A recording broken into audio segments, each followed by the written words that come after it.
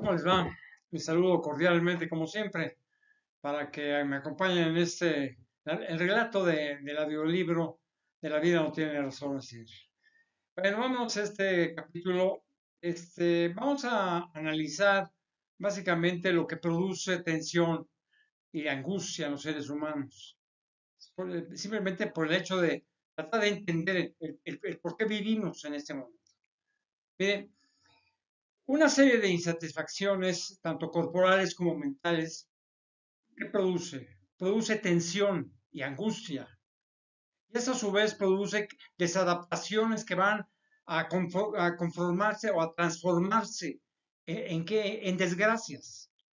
Mire, una degeneración sexual ha sido común a través de la historia del hombre y de, la mujer, porque por nuestra ineptitud manifiesta, inclusive como hombres, este, o sea, no podemos resolver o por lo menos mejorar nuestra sexualidad desequilibrada, incluyendo las mujeres también. Claro, nosotros somos producto de un legado de imperfecciones sociales y culturales, pero esto no es motivo de conformismo, de conformismo o insatisfacción, todo durante toda nuestra vida. Recuerden, la vida resulta tan pequeña y, breve, no, debemos no, no debemos desperdiciarla, ¿no? Mire, este, nos falta tiempo para determinar lo que nos puede proporcionar felicidad, o por lo menos la tranquilidad necesaria para qué, para resolver este complicado, aunque no difícil reto. Por otro lado, no todo es depravación en el sexo. ¿eh? Tomando esto como una utilización incorrecta, anormal, dañina, dañina en el ser humano, en el ser humano. Al contrario, existe este, ya la, aceptación de nuevas reglas de convivencia, hace mucho más equilibradas, por supuesto. Mencionamos que, la, por ejemplo, en la actualidad ha sido aceptada este, la idea de que, que, no deja de ser algo peligroso, por supuesto, sobre todo por la distorsión de la condición normal, de humana normal, de que el acto sexual se realice cuando ya se necesita porque la condición biológica así lo estipula en el momento adecuado. Por otro lado, no se acepta básicamente que sea, o sea, que se, se, aconseje, se, aconseje a una mujer, por ejemplo, desde la edad de que necesita sexo, que se le agrada que si le agrada, por ejemplo, algún varón, acepte sus pretensiones o las promueva ella. No sin antes haber tenido una adecuada orientación sexual y un eficiente control de la natalidad. De acuerdo, este, simultáneo de, de gozar la sexualidad sin necesidad de vivir juntos, pero sí con el firme deseo, básicamente, porque se realicen y traten de lograr realizar un coito para realizarlo. O sea, em, más, que una, relación corporal, sí, básicamente, como afectiva en forma satisfactoria, básicamente. Como digo, no se debe realizar un coito por realizarlo, ya que podemos caer, por supuesto, en el extremo de viciar nuestra intención y no vemos más que la desagradable, el desagradable desequilibrio, duda, decepción y sufrimiento. Miren, si anhelamos satisfacer a través de nuestra vida el deseo de confirmación sexual, entonces debemos seguir ciertas reglas que aunque difíciles de conseguir, no son imposibles, de observar. Primero, deben, deben tener una edad adecuada, tanto mental como orgánica. Por ejemplo, segundo, tener una orientación sexual igualmente adecuada.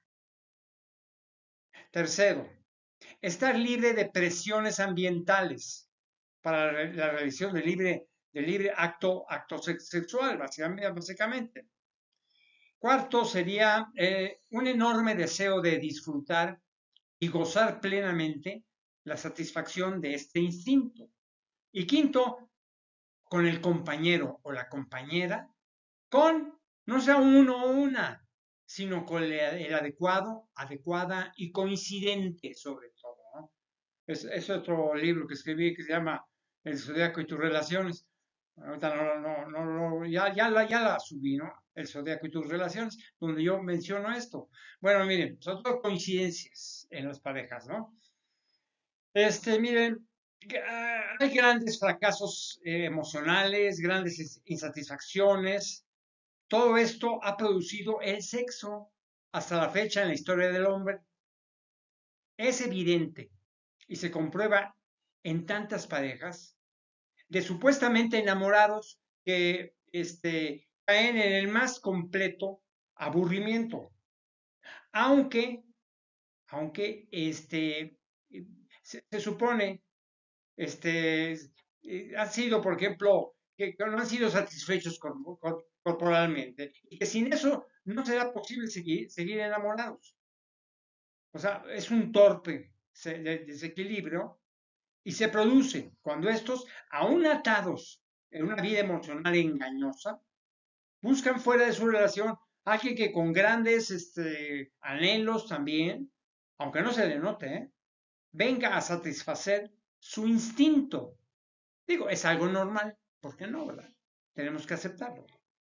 Bueno, todos sabemos con seguridad que existimos en un mundo sexual desadaptado, ya que en demasiadas ocasiones, si no en todas, nuestro deseo no puede internarse en un estado de meditación.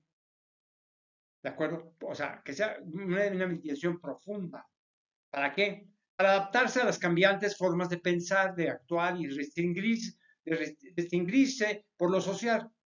Restringirse en, lo social, lo cultural, eh, lo ambiental, y así, así continuaremos hasta que nos enteremos. Pero lo, que lo importante es ser feliz realmente. Hacerlo con amor emocional, en lo sexual, por ejemplo. En eso tenemos que entender, entenderlo así. Miren, se, se preguntaron ustedes en, un momento dado, que, es lo más importante de todo esto, este, mm, mire, ¿quién será el genio, por así decirlo, que nos proporcione la respuesta adecuada? Pues bien, pienso que ya muchos seres humanos o sea, han tratado de clarificar las reacciones de la mente bajo su respetable literatura, por lo que resultaría un poco engañoso tratar de repetir aquí lo mismo. Sería este, injusto de mi parte y quitarles más el tiempo a ustedes. Miren, los consejos dados no dejan de ser este, importantes, pero tal vez, no sé, pueden ser un poco oscuros, quizá un poco incomprensibles. O sea, faltos de palabras fáciles de, entender. Por lo, por lo anterior, no quiero decir que no son uno más lleno de jeroglíficos, ya que yo los entendí. Sin embargo, permítanme, para los que no entendieron, tratar de reorientarlos, ¿de acuerdo? Miren, regresando al tema que estamos tratando, la incomprendida esencia del sexo, terminaremos determinando los principales errores que se, cometen en contra de este instinto en forma cronológica y real. Es importante, por ejemplo, establecer una correcta evaluación del ser humano, desde, sobre todo desde su infancia, por decir, de su periodo activo, cuando su sensualidad normalmente se manifiesta en toda la extensión y pide ser satisfecha, hasta que por la edad se pierden las posibilidades orgánicas de la realización carnal. A ver, ¿qué es, lo que se produce eh, cuando nosotros jóvenes aún sentimos una determinada atracción al sexo contrario o al sexo opuesto, ¿no? Sobre todo, primariamente sexual. Lo que sucede es que trataremos de conseguir de este sujeto que acabemos de conocer la satisfacción. Es instintivo, básicamente. Esta posible satisfacción ha sido reprimida en otras épocas, en la mayoría de las ocasiones. No por uno mismo necesariamente, sino por nuestra herencia social. Aunque las actitudes sociales se modifiquen hacia la mayor libertad para actuar. Se ha dicho, por ejemplo, que diga el cura si tengo que confesarle que, me acosté con, con mi vecino, y si, mi mamá, y si mi mamá se entera, por ejemplo, si mi padre me mataría, si tengo un bebé, mejor me iré a hacer mi tarea, no sea que me reprueben mañana. Insatisfacción, represión y, de, y desasosiego, básicamente. El primer problema, eh, básicamente, es el problema de, esa temprana edad, sobre todo activa sexualmente. No sé, estoy hablando de 10, 11, 12 años, vamos a decir, que empiezan a sentir algo. Es que no se ha sabido guiar eficazmente el logro de nuestras satisfacciones. En un mundo social tumultuoso o masivamente aislado del consejo útil y directo. O sea, ¿quién tiene la culpa en realmente? El padre, la madre, el cura, el maestro, un libro, la abuelita, la sociedad, el Estado, el Estado. Necesitamos evolucionar. Hoy en la actualidad, cuando yo escribí este libro, bueno, este, el mundo sexual ha cambiado para el joven.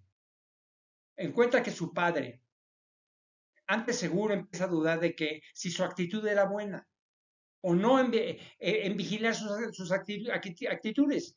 Hoy, por ejemplo, los jóvenes no piden permiso para acostarse con su vecina o compañera de aula, por supuesto, ¿no? Digan ustedes, bueno, creo que, creo que vamos progresado, ¿no? ¿O no? En cuanto a la satisfacción, tal vez. En cuanto a lo que se lo realizan sin madurez emocional, no. Ese es mi, punto de vista. ¿eh? Mire, no fomentemos la posibilidad de un desencadenamiento de enfermedades venéreas eh, o hijos no deseados en la liberación sexual total y completa, sin orientación también. ¿eh? Aunque ya sucedió en otros lugares y en otras culturas. veamos esto, mire. En primer lugar, padres, comuníquese con sus hijos e hijas cuando pregunto sobre el sexo y enseñan lo que significa la responsabilidad, o sea, hablar con la, la, verdad, contacto y conocimiento. Dejemos a un lado el machismo, el nuestro, ¿verdad? El, y el muy elevado desinterés, desinterés de otros. ¿Para qué? Para poder ayudar realmente a los seres humanos que desean ser felices, no solo estar satisfechos por un instante, por supuesto, darles seguridad en la premisa. O sea, no hay tiempo mejor apreciado que el momento de atención a un hijo. Mire, para las madres, ¿qué diría yo para las madres? Las insatisfechas sexualmente no traten de el sexo con sus hijos, ¿eh? pero aquellas que han podido disfrutar plenamente, tan solo transmiten, transmitan esa satisfacción con un poco de conocimiento, ya escrito, que hay mucho, ¿no? Explicarles que con el orgasmo se termina un momento agradable y se inicia, se inicia un compromiso de haberlo realizado con otro ser humano, no con un animal cualquiera. Eso es lo más importante. Mire, una otra cosa es, por ejemplo, yo, yo, les diría yo a, los sacerdotes, ¿no? Con todo respeto, ¿eh? A, este, a los curas, por así decirlo, ¿no? Ok. Yo les diría a los curas y a los sacerdotes, no hablen, por favor. No, es su, su, su, este, su, misión en esta vida como, como, como sacerdotes. No hablen, por favor. Existen muy pocos que saben orientar de esto. No porque no estén enterados, sino porque no lo han vivido. Aunque ya, claro, ya existen excepciones ocultas, por supuesto, muy excepcionales ocultas. Por ejemplo, para el maestro, ¿han desechado las obsoletas y criminales formas pedagógicas del pasado? Es una pregunta que les hago. ¿Tienen una vida sexual equilibrada? han adquirido conocimientos sexuales adecuados, o sea, no leyeron esto, el sexo en, en revistas eróticas, roben tiempo en alguna de sus materias. Por ejemplo, matemáticas, o la mitad, ¿no? Algo de su cátedra y den a sus alumnos clases de sexo, pero bien orientados con un psicólogo o algo así, ¿no? Por supuesto, de, acuerdo a su, a su, edad, ¿no? Así será la profundidad del caso, ¿no? No chiquititos, sino ya, ya jovencitos que puedan entender muy bien todo esto, ¿no? O sea, no tienen, por ejemplo, eh, eh, los maestros o, este, profesores, no los llamo maestros, profesores, no tienen los anteriores atributos. Mejor guárdense sus pensamientos y no traten de ayudarse a sí mismos, ¿de acuerdo?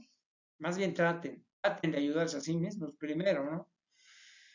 Yo lo que, les diría yo, por ejemplo, al libro, miren, si eres aquel que puede ser entendido fácilmente, sin mentiras e ilusiones, y sí con la verdad biológica y sencilla para este asunto, ofrécete a la venta a un precio accesible y promuévete. O sea, aplasta a los que están en contra de ti. Hay algunos que están en contra del, libro. Ahora, para las abuelitas, hay, hay, abuelitas siempre en una casa, ¿no? Mire, mi eterno respeto a sus canas, señoras. Pero a esa edad, ni sabiendo, debe comunicar lo que ya no se encuentra presente en usted. Mil perdones por las abuelitas cultas y jóvenes de espíritu. Adelante con ello, ¿no? Enseñen lo mucho que saben y experimentaron. Ese es mi punto de vista, ¿no? Otra cosa, para la sociedad, ¿qué, yo, qué, le digo a la sociedad? Ah, gran número de seres humanos que juntos, que juntos cometen errores enormes, enormes errores de violencia y contradicción extremismo fanático que muestra su atraso. ¿Por qué no unidos colocamos el más sólido cimiento. El más sólido cimiento para que se apoye al futuro, al, futuro adulto, al que va a ser adulto en algún momento, ¿no? Y una cosa para el Estado, miren, al Estado al gobierno, si bien permite que la mente del ser humano se, se, distorsione con tantos proyectos nocivos, la literatura barata, televisión barata, este, ah, cine, barato, este, tantas cosas más baratas y, sin, y, que no tienen esencia humana, vamos a hacerlo. Traten, ustedes, señor, el gobierno, por lo menos de eliminar que las guerras de, de pobreza y segregación, de dispendio de sociales, de, de injusticia, promuevan la equidad entre los seres humanos a quienes se deben. Por eso les pagan, Parecía una utopía, pero les pagan para eso. ¿no? Miren, lo anterior puede servir, no sé, de simple y sencilla guía a realizar. ¿no? Digo, es algo, es algo de, idealismo encuentro en, mis palabras, básicamente. ¿eh? Palabras son no, no, no, somos exactas. Pero bueno, este, miren, mm, sin embargo, para los jóvenes de, cada generación, se debe, eh, eh, no debe parecérseles imposible de solucionar. ¿eh? Esperen que con el tiempo el, el humano cambie y supere su ignominiosa actitud. ¿De qué? De no importarle la individualidad de los demás, sean testigos y no cometan los mismos errores de los jóvenes que les precedan, o sea, los anteriores, ¿eh? ¿De acuerdo? Es una frase que tuve ahí, es más grande la distancia que recorre una hormiga que la distancia entre la vida y la muerte.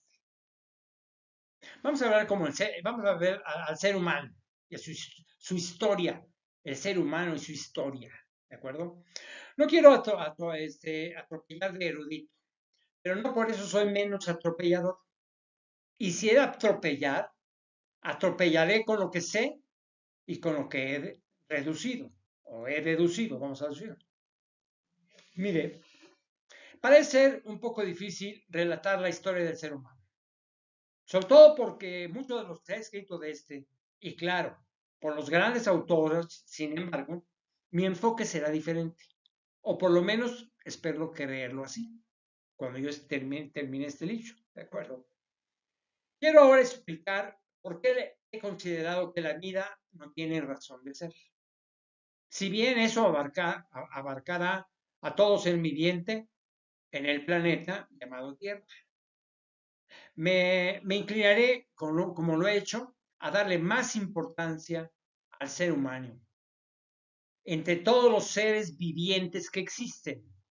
Bueno, comenzaré diciendo lo que muchos autores han dicho, que somos una evolución de algún primate. Creo que sí, en, términos del planeta. Que somos hijos de Adán y Eva. de Adán y Eva. Creo que no precisamente. Está bien la, la idea, pero yo, inclusive con mi libro eh, El mensajero supremo de Dios, lo expliqué. Es un, libro bíblico, bíblico, sí, por supuesto, para, la intimidad del ser humano. Es que no, porque no hay lógica, el, el, que, digamos, el que diseñó el Antiguo Testamento, dijeron que veníamos de Adán y Eva. Y Eva. Lo, imaginaron nada más, para tratar de, buscar una respuesta de dónde venimos. Nada más. Lo demás tiene otro, tiene otro valor que no lo voy a, este, a, comentar en este momento. Antes de empezar con mis pensamientos, deseo hacer un paréntesis para entregar mi más sincero elogio por aquellos seres humanos a quienes les interesó o interesa hablar de la vida en todos sus niveles y de los hombres o mujeres, término genérico. ¿eh? Cuando digo de los hombres es también de las mujeres. ¿eh? Este punto más importante del, del que hablar, básicamente. Bueno, entonces, este, quiero advertir, aunque es un poco tarde, que la expresión de mi libro no es plasmar en este grandes retóricas, ni depurados léxicos, lascivas palabras e intrincados conceptos. Mi especial objetivo es hablarles un poco de la única realidad que hay para, mí, para la mía. Debemos confiar en nosotros mismos sobre lo que pensamos y decimos, ¿no? Tengo que, tengo que este, poner eh, el ejemplo. Miren, por ejemplo, Sócrates, Aristóteles, Platón, Beethoven, Freud, Nietzsche, Freud, Freud, Nietzsche, este, Juan Pérez, por ejemplo, cualquiera, ¿de acuerdo? Vamos a desglosarlos ahora un poco la historia emocional, o sea, la importante del ser humano. Mucho le ha perturbado al ser humano pensante ser lo que ahora es después de lo que ha sido. Su historia emocional casi lo ha ensimismado por, por siempre y, ya pocas oportunidades le quedan. ¿Para qué? Para seguir siendo lo más importante de este mundo, un ser individual. El ser humano, por la misma condición natural que tiene, nunca dejará de ser violento. Esa violencia, y es evidente, lo ha llevado a través de la historia a destruirse paulatinamente. Si no reacciona contra los demás, reacciona en contra de sí mismo, aún existiendo abundancia o sabiduría. El ser humano no ha tenido el impulso de tener más. Su propia condición animal nos dice o, o lucha con violencia, o sea, la fuerza física e intelectual, no lucha con violencia dejando de hacer la autodestrucción. Ok. Miren, existen infinitas guerras, infinitas muertes, infinitas tristezas, infinitos temores, infinitas condiciones. Destrucción, destrucción y destrucción. El ser humano destruye para construir, ¿de acuerdo? Progresa para destruirse llora para ser consolado y muere sin saber por qué. Esa es la situación que lo lleva a que, a que termina diciendo la vida no tiene razón de ser, ¿para qué vivir? ¿Verdad? Miren, Si analizamos, digo, como observador de aquellos que no pueden analizarlo, no porque sean incapaces, ¿eh? sino porque no han tenido la oportunidad de hacerlo. Un poco de lo que son las, las, las guerras y sus consecuencias, por supuesto. No por lo que dejan atrás de ellas, ¿ok? Dentro de un concepto este, material, vamos a decirlo así, sino por aquello que emocionalmente perdura. Podemos afirmar que existen y existirán huellas directas de aquellos que participaron, muriendo o no, o indirectas los que, lo que las, las que presenciaron, lo que presenciaron o no, básicamente. Eh, ¿A dónde vamos a llegar con todo esto? Con estas reflexiones que le estoy haciendo. Bueno, vamos a llegar entonces a la conclusión de que existe una huella profunda y nociva en nuestra mente. Esto se refiere a lo que no solamente vivimos con la triste idea de morir de los demás, sino que también irónicamente apoyamos nuestra propia muerte. Un poder disfrutar sin disfrutarlo. Vaya contradicción, ¿no? Pero en realidad es así. Hemos llegado a un punto en el que preferimos soñar, aunque despertemos, en el poder, en el poder morir soñando. ¿Soñar qué?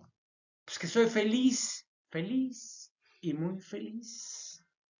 En este momento, por, eh, por, ejemplo, al fumarme, por ejemplo, un cigarro o consumir alcohol o alguna droga, pienso y siento que soy feliz, por supuesto. Me escapo de la, de la realidad. ¿Por qué? Porque adquiero satisfacción. Pero que lo que realmente estoy haciendo es acelerar mi destrucción. ¿Por qué? Porque lo hurto, eh, porque le hurto le hurto un preciado tiempo a mi muerte natural. Como si, persiguiese, como si yo persiguiera morir sonriendo, vamos a decirlo, ¿no? Este, y en eso, y en eso, como de tantas cosas, el mundo socializado, este, y su pasado, ¿qué, ¿qué nos han enseñado? Nos ha enseñado a destruirnos con una adecuada y excelente planificación, digamos, inconsciente. Cuando el ser humano piensa por él eh, en ocasiones beneficia, pero en muchas ocasiones lesiona. Ya que hablábamos de las guerras, no todo lo que se deja una guerra, lo que es deja una guerra es, dañino o, perjudicial, o perjudicial para los que no saben, ¿no? Siempre quedarán aquellos que puedan disfrutar. Feliz, feliz, feliz. Más de lo que disfrutaban. Disfrutando los que otros disfrutaron Vaya error.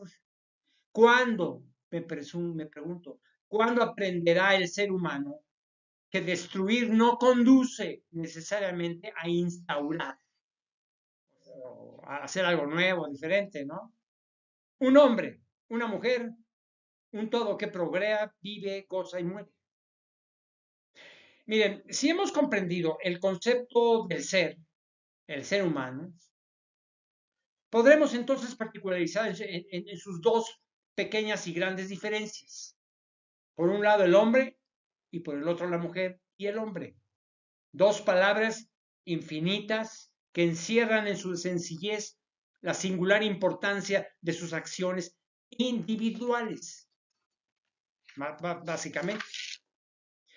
Miren, este, hay mucho, hay mucho que se ha dicho mucho que se ha propuesto que la mujer es tal y que el hombre es cual, que una es la mujer y el otro es el hombre, erróneo en muchas ocasiones. Veamos por qué. La primera y única diferencia tangible entre estos dos seres, que si bien son disímbolos en su comportamiento, son tan similares, similares en su esencia. Es de, notarse, por ejemplo, entonces, que biológicamente se establece una desigualdad definitiva. Es, repito, única de su accionar, sentir o interactuar con el medio en el cual se desarrolla. Soy, abierto, ¿eh? me, disculpen si algunos se ofenden, ¿eh? son palabras este, técnicas, ¿de acuerdo? Una tiene vagina y el otro pene. Una puede, una puede amamantar, del otro proteger. Diferencias claras, evidentes, redundantes. Si abundamos una, una por ejemplo, si abundamos una tez, una, una tiene, tiene es suave, el otro áspera. Una tiene poco vello y el otro le abunda. Otra cosa, simplemente como dicen mis amigos de la medicina, manifiestos primarios o secundarios del sexo, las hormonas, la genética y la herencia. Por ejemplo, poseemos esqueleto muy similar, casi idéntico. Un estómago, dos ojos, un hígado, una boca, 20 dedos y todo lo demás. ¿Cuál es la diferencia entonces cuando se prefiere en muchas ocasiones particularizar a tal grado que los proyectos como seres este, plenamente independientes son simplemente utilizaciones incorrectas de qué de definición. Hablamos ya de las cualidades que la naturaleza ha demostrado al implantar al ser humano. Continuando con sus relaciones lógicas, no se detuvo en la bipartición. Se requería elaborar entonces lo que ahora se designa como un hombre y una mujer, o una mujer o un hombre, ¿de acuerdo? Era muy complicado hacer de un hombre o una mujer seres que pudiesen autocopularse y reproducirse. Por lo menos en los seres humanos, ¿eh? Hay eh, animales inferiores, inferiores que sí sucede, ¿eh? Pero no, no. Desde su evolución primitiva fue conformando los elementos necesarios para establecer la importante diferenciación que lograra en su comportamiento o en su complemento básicamente, un medio. ¿Para qué? Para preservar la especie. Si no, imagínense cómo, cómo, cómo lo van a hacer. Miren, la naturaleza, este, vamos a hablar de la, naturaleza. No les voy a hablar en este momento de Dios y de su Hijo, ¿no? Vamos a hablar de la naturaleza que Dios nos dio, ¿de acuerdo? La naturaleza como un todo que forma este hermoso planeta, necesitó realizar grandes ajustes en su ardua carrera. ¿Para qué? Para conjuntar los elementos básicos de la vida, que ya, ya les mencioné. Lo hizo seguramente por etapas. Otra cosa, y por oportunidades este, en cada una de las especies, especiales situaciones geográficas, ambientales o, o de necesidad, vamos a decirlo así, dando frutos primitivos de, esta especie, en forma simultánea o dispersa también, dependiendo del grado de adaptación de los mismos. Necesariamente, como es lógico y evidente, este, eh, algunos de ellos no lograron consolidar su adaptación evolutiva. O sea, el clima, el, alimento, no sé, la, degradación, es un pequeño error del sistema complejo que se pretendía lograr. ¿eh? No, es nada sencillo. Mire, la naturaleza sabia, sabia es, es muy sabia. Buscaba, buscaba la perfección orgánica. En fin, de acuerdo con las teorías actuales. No se sabe exactamente en dónde fue el sitio, ¿no? O en dónde fueron los sitios en los cuales por primera vez pudo haber, haberse reunido esa base primordial para dar el, futuro, al futuro una nueva la nueva e interesante mencionada especie, los seres humanos. Por otro lado, es importante observar que antes eh, del surgimiento de la hora hombre o mujer, como se ha dicho en muchas ocasiones en la vida científica, existían ya complejos y raros organismos microcelulares o multicelulares, por ejemplo, ya plenamente estructurados muchos de, ellos ya extinguidos inclusive actualmente, y otros que aún permanecen. Tal vez debemos considerarlos este, como intentos de la naturaleza para lograr su Homo sapiens, el, el ser humano que pensaba. Lo hecho, hecho está. Un mundo de pequeños, medianos y grandes organismos que podían servir al fin principal, el ser humano. ¿De acuerdo? La naturaleza no podía, por ejemplo, detenerse en una lucha constante por la, por la misión que le había, les había dado el universo y su creador, por ejemplo, para mí Dios, el creador. Y al fin lo logró. Cuando lo hizo ya nada podía producir el regreso a la nada. Este, si mencionamos, por ejemplo, este, si mencionamos, si, si mencionamos nuevamente, por ejemplo, este, que la naturaleza pudiese estar pensando, se diría, a sí misma, no soy perfecta. Y, a esta creación le, he dado un medio este, de subsistencia, por ejemplo, ¿sí? Este, complicado. Hay seres vivos que, lo, que la, pueden matar, la, pueden exterminar a la naturaleza, ¿ok? Y hasta exterminar, como les digo. Pero algo eh, se consuela. O sea, la naturaleza, o se consuela.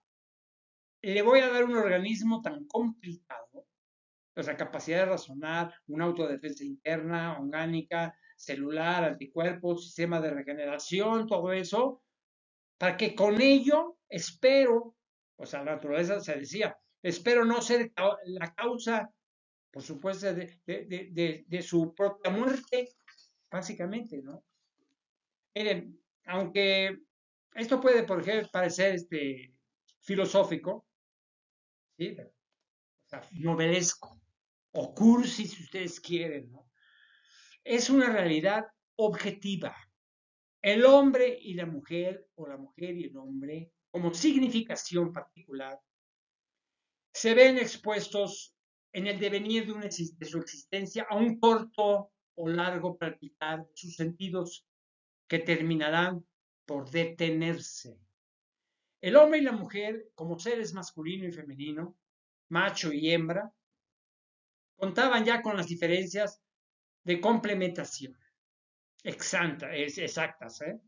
para que se lograra el objetivo que tuvo la naturaleza al formarlos, al integrar su, su organismo, los cuerpos bien estructurados con no sé, sistemas celulares complejos, pero con una división de funciones extraordinaria y singular para proteger, generar y conservar el órgano más importante, el cerebro.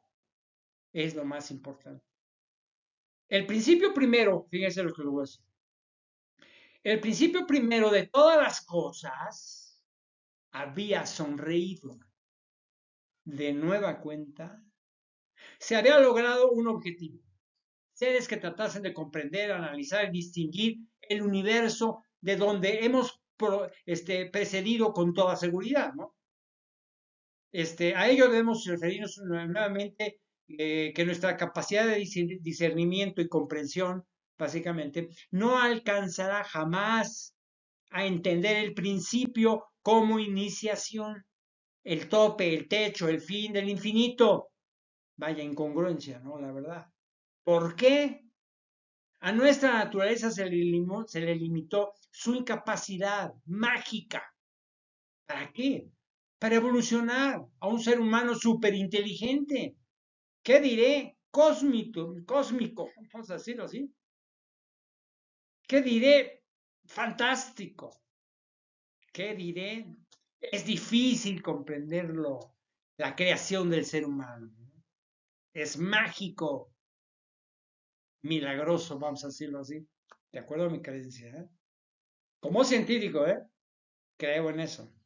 Pues bien, tanto hombres como mujeres, mujeres y hombres, en el pasado, en el presente y en el futuro, han tratado, tratan y tratarán de encontrar casi angustiosamente una razón de su existencia explorando, buscando, logrando límites, límites, límites. Y el universo sonreía o, sigue sonriendo, ¿no? Y seguramente estará, pues no sé, ocupado en crear otros sistemas solares, ¿verdad? Planetas y organismos similares. En crear otros sistemas solares, planetas y organismos, y, y sobre todo mucho más complejos, por supuesto. Tal vez, Tal vez, ¿no? O sea, somos hombres y mujeres lo más grande y fabuloso de este planeta. Y, los, y lo más simple y caricaturesco del universo, sobre todo del universo pensante. Esto debe llevarnos a evitar compararnos con la grandiosidad de nuestro creador. ese principio primero, no voy a tratar de hablar de, Dios, ¿eh? pero es, simple, ¿no? El principio primero de nuestro creador, ese principio primero del que yo me refiero. ¿Y por qué? Vamos a ser humildes. ¿Para qué? Para el gran espacio sabio, sabio y realmente humano dentro de nuestra limitada y golpeada atmósfera. Nuestra única casa al fin. No, no, no le buscamos más cosas. Miren, antes de profundizar, por ejemplo, este, en el conocimiento, no menos exacto, ¿eh? y sí más sencillo más claro o entendible del hecho de sentir como hombres o mujeres, o mujeres y hombres, nuestro accionar o nuestro hacer particular, es importante que tratemos de realizar un breve repaso de las etapas que guiaron al surgimiento de nuestra especie. Miren, si partimos de las teorías establecidas científicamente, estaremos de hecho considerando que una nebulosa formó nuestro sistema solar, de acuerdo de acuerdo a la, ciencia. ¿eh? Y de ahí se desprendió el actual planeta Tierra. Eso está comprobado en la ciencia. ¿eh? Que por su distancia al Sol, su situación astrológica en el espacio y su especial constitución conformaron a través de los siglos una característica única que dieron que, como producto, una compleja estructura una estructura físico-química, ¿de acuerdo? Nuestra conocida naturaleza. No debemos olvidar, que, no debemos olvidar, por supuesto, que su designación romántica solo ha incluido los árboles, a un hermoso riachuelo, flores, tal vez bellos pajaritos. No, la atmósfera, todas las especies orgánicas y todos los elementos inorgánicos la forman además del ser humano, por supuesto. ¿no? Cuando, la, naturaleza, por ejemplo, cumple su misión al, formar el primer rasgo, el primer rasgo del futuro ser humano, dejó en términos de evolución que el tiempo y la oportunidad hiciera el del resto. O sea, el, plan de la creación ya estaba hecho. Antes de que prosigamos, he de ser sincero, que soy partícipe como expliqué anteriormente, de las teorías del evolucionismo de Charles Darwin. Creo en, lo, que, lo que dijo Charles, Charles Darwin, pero sin la explosión o cósmica, eso no lo voy a aceptar. Eso de la explosión cósmica de muchos científicos, no la entiendo y, les puedo decir por qué. No es en, en este momento, ya lo expliqué en otro momento. O tal, tal vez no sea o no fuera la más exacta, pero es lo más congruente. Pero bueno, ese es, un tema diferente a, lo que estoy tratando con ustedes. Y, bien, si partimos del mono o de una especie de primates especiales, como lo asentaba en sus estudios y teoría este, Desmond Morris, es conveniente considerar esto para no repetir lo mismo y sí continuar con lo que yo considero, con lo que considero son las bases esenciales del objeto de este ensayo. Podría seguirle por delante, pero vamos a dejarlos para el, siguiente capítulo. ¿eh? Espero que, sea, y perdón que utilice palabras técnicas cuando yo hablo estas cosas porque me vienen a la mente, ¿de acuerdo? Les agradezco mucho su participación. Este, les, les, advierto, son como unos 12 capítulos, ¿eh? más o menos, de, este, de este libro, de mi audiolibro, ¿no? Para hacer, tratar de ser lo más eh, sencillo, este, que les puede ser útil de, alguna manera. Que la pasen muy bien. Nos, nos este, escuchamos. Ustedes me van a escuchar y yo voy a hablar en, en la próxima vez. ¿eh? Este, nos vemos después entonces.